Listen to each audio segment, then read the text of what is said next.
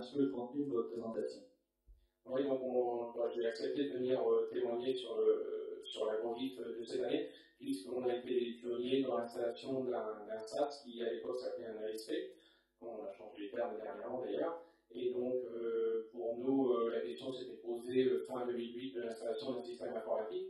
Et à l'époque, l'acquisition, bah, c'était un petit peu trop coûteux pour les moyens que l'on avait. Et donc, SAS répond tout à besoins en termes de, en termes de tarifs. Et euh, quelles ont été les réactions des gens qui ont été dans, dans ce repas de rencontre? Euh, Les gens qu'on a rencontrés euh, hier après-midi et ce matin, donc hier après-midi on avait un petit peu plus de monde et puis des gens intéressés par le, par le système.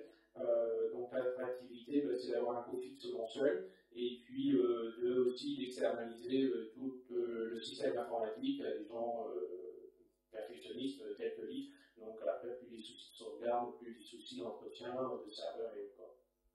Si vous, vous êtes venu témoigner, c'est que vous êtes plutôt satisfait de la solution. Euh, oui, d'ailleurs, euh, hier, à l'entretien, à fin de l'entretien, il y a une personne qui m'a dit euh, Mais c'est bizarre, vous avez dit plutôt que du bien et pas du tout de mal.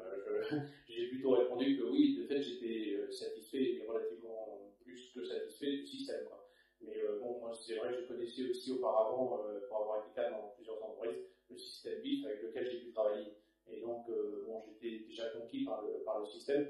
Et puis après la mise en place, euh, chez nous aussi, on a, on a mis les moyens, puisqu'aujourd'hui, euh, je considère que qu'un système informatique fonctionne bien, il y a bien sûr le prestataire informatique qui est important, mais on a aussi sur place à charge de bien développer, c'est-à-dire de bien enseigner tout ce qui est euh, fichier client, fichier article, et une fois que tout ça c'est fait, euh, c'est un investissement personnel en temps, mais si aujourd'hui on ne fait pas ce genre de choses, on n'aboutit pas sur les bonnes solutions. Et est-ce que vous avez participé à d'autres points de rencontre Vous avez été en tant que visiteur de d'autres points de rencontre? Je suis allé hier soir sur le développement durable, où il y avait des intervenants, notamment Nicolas Douzin, qui est le directeur de la et cellule où je suis adhérent, et puis un intervenant aussi d'un Leclerc et un monsieur de la société Mère Alliance. C'était relativement intéressant. Merci bien.